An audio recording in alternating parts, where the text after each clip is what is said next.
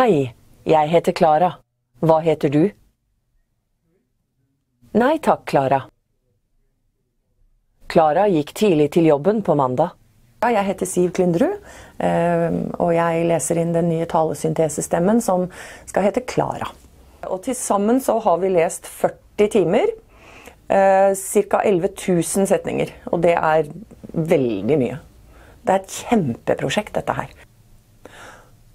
Dermed unngår fotballforbundet Det må vi ta med igjen. Dermed unngår Fotballforbundet de verste kutt... Nei. Dermed unngår Fotballforbundet de verste kuttrundene.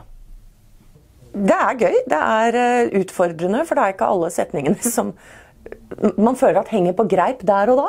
Det stopper midt i en setning, eller starter midt i en setning. Narkobot. Jeg trodde det var narkobot. Jeg trodde det var en rob robot. Og bur burkinibot.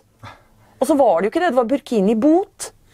Og da fikk vi jo helt latterkrampe.